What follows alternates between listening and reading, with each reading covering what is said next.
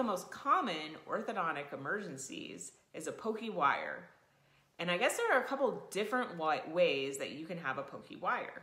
One is just a tiny little bit of pokey wire sticking out at the end, super irritating to your cheeks, but just very, very small.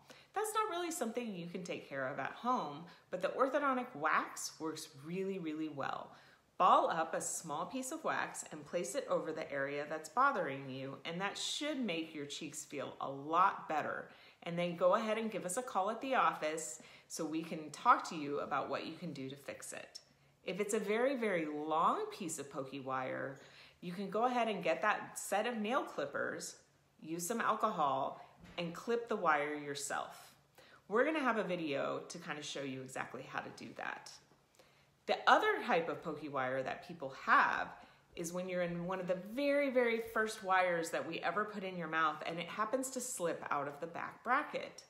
Many times you can use a pair of tweezers and place it right back into the bracket.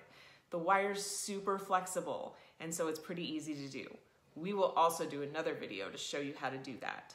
But if you do one of these things and it doesn't seem to quite help you out, please give us a call at the office and we'll instruct you on what to do.